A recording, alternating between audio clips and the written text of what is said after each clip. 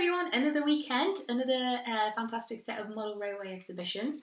Uh, yesterday we went to Perth Green at Jarrow and uh, spent quite a lot of time appreciating, appreciating the uh, Chollerford layout from the Wally Model Railway Club.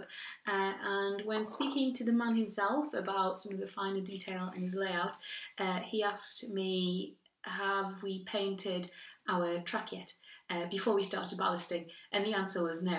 Uh, shock horror. So he said, you know, go quickly and buy some enamel paint. And he, he recommended Humbrol, but we ended up going with Rail Match. So we have some sleeper grime colour uh, Rail paint, and we also have some dark rust um, paint. So this is to go on the side of the tracks and the top remains polished off and the sleeper to obviously go on the sleepers and it kind of um, blends them in a little bit better with the ballast that we're using. Um, I can tarnish off some of the colour to make it look like there's oil spillages on the sleepers, which is really effective.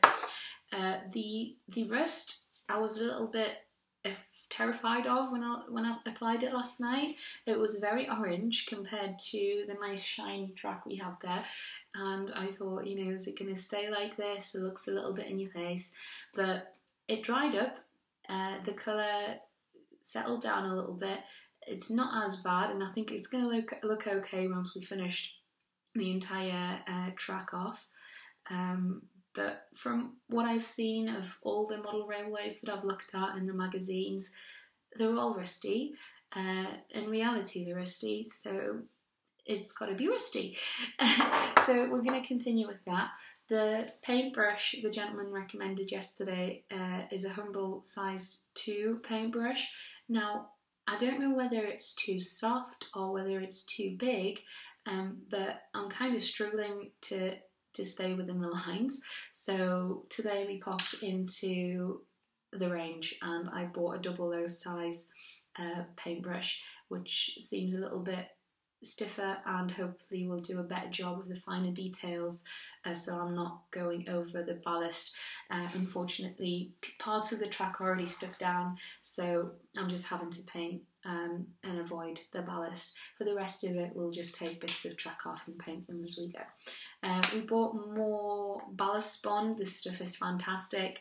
Uh, we've been very generous with it now because uh, if we're not, it's not all of the ballast sticks down, and then you know we hoover it up. And the great way to do it, by the way, is to use uh, tights over the tip of the hoover. Uh, so that stops the ballast from being sucked up, it stops it from being wasted, and we drop it into a little jar and everything is recycled, which is fantastic. Uh, we use, like I mentioned earlier, we use three tablespoons of double O gauge ballast to one tablespoon of N gauge ballast, and that gives us a nice uh, finish on it.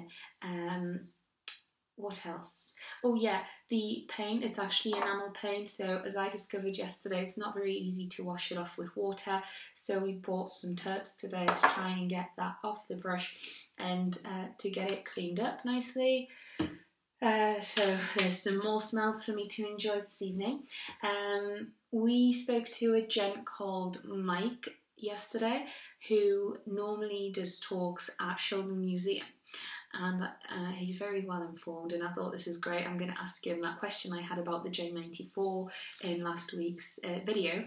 And uh, basically, my my query was the box is labelled as Hunslet J94 Austerity. It's the um, 8023 number, and on Wikipedia, the builder uh, is put down as Robert Stephenson Hawthorne. And I thought, you know, has the box been labelled wrong? Is something not quite right on Wikipedia? Because you can't always trust it. But as it turns out, during uh, the wartime, Hunslet couldn't produce quite enough engines, so the work was commissioned onto other rail companies such as Robert Stephenson Hawthorne in this case. So I'm, I'm content in that Hunslet is, you know, the, the chief designer of this loco and that he basically just commissioned it to be built at different um, places. And I'm happy with that answer. so I shan't be investigating any further. Uh, but all this talk about the J94's got me interested, and I might purchase some books and read up more because it's a it's a oh my goodness, it's a local locomotive, and I've just noticed a spider on this uh, piece of hydrangea, which I picked off the garden for a good reason. Uh, today at Ormesby Hall, I don't know if you can see this gorgeous garden spider. I'm not very well informed with spiders, however, I am chief spider catcher at home. Here he is. Uh, I think he's more scared than me, so we'll uh, take him outside next available opportunity and deal with that later.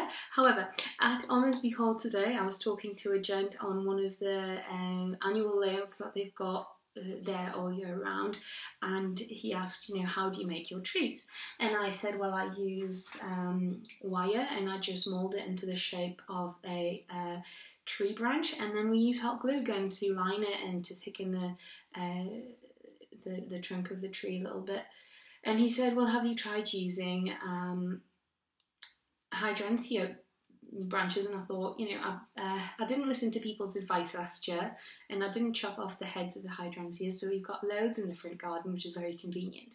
So we're going to use that and uh, we're going to, he said use hairspray.